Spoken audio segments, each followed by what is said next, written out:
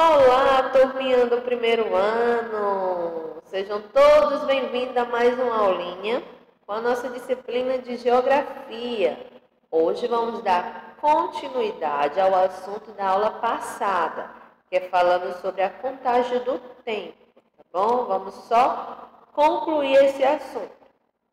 A fantástica máquina do tempo. Então, a gente sabe que esse símbolozinho aqui é é também utilizado para a contagem do tempo, né? Que ele tem areia aqui dentro e você vai e a areia vai caindo vagarosamente. Isso quer dizer que o tempo está passando, tá bom? O tempo não para. O tempo passa algumas vezes de forma rápida, outras bem lentamente. E temos a impressão de que algumas vezes ele deveria mesmo era parar. Vocês já tiveram essa sensação? Eu tenho certeza que sim, né? A gente vê o tempo passando rápido. Ah, ontem foi ontem foi terça-feira ou quarta-feira. Hoje já é quinta-feira. Então, é assim, o tempo vai passando. Quando pensa que não, a gente já chega na outra semana. E assim vai indo, entrando mês após mês, ano após ano. E cada vez mais ele está mais rápido. Não sei se vocês já perceberam que a semana está passando mais rápida. O mês está acabando mais rápido. Ontem, evento, fui para a escola e, e me diverti muito. Jantei um delicioso é, jantei em um delicioso restaurante com os meus pais. Hoje, daqui a pouco, vamos na casa da vovó. É, corrigimos a lição que a professora mandou ontem para casa.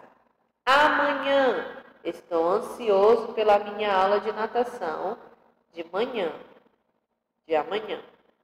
Depois da natação, vamos na festa de aniversário do Pedro. Então, nós temos para a contagem do tempo, o ontem, o hoje e o amanhã.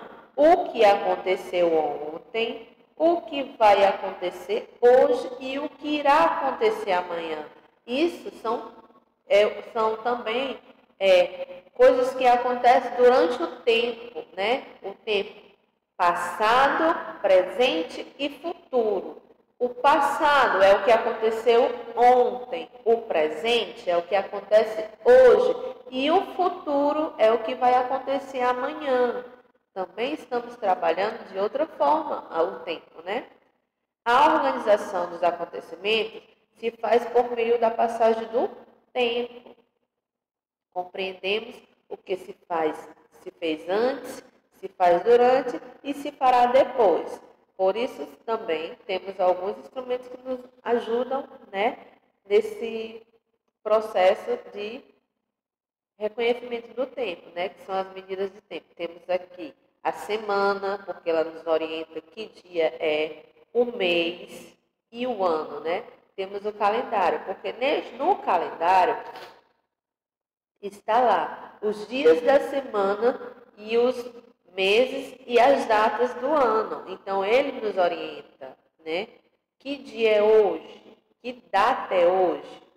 Que dia da semana é hoje? Que mês é hoje? Que ano é hoje? Que ano nós estamos? Então ele nos orienta, assim como a bússola, como o relógio, todos esses, esses instrumentos eles nos ajudam, né? Na passagem do tempo, na contagem do tempo. Agora, Vamos dar continuidade à atividadezinha do nosso livro, continuando com a questão 3.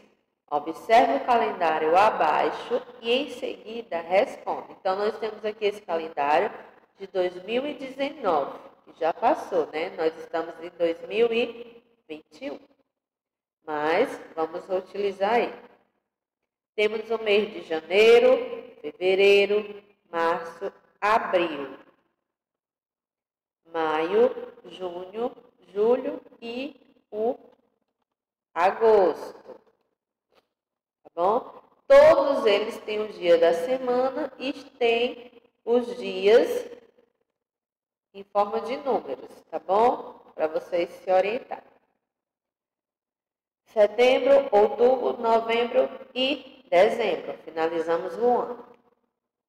A. Letrinha A. Circule de vermelho o mês em que você nasceu. Essa resposta é pessoal, porque cada um tem um mês que nasceu. Eu nasci no mês de fevereiro, então eu vou pintar ou eu vou circular o mês de fevereiro com a cor vermelha. B. E assim vocês vão fazer com o mês de vocês. Perguntem à mamãe qual o mês do aniversário de vocês. B. Faça um traço azul no dia em que você nasceu. Então, eu vou perguntar novamente à mamãe a data, o dia que eu nasci foi. Por exemplo, 10. Aí eu passo um traço com a cor azul embaixo do número 10 no mês que eu nasci.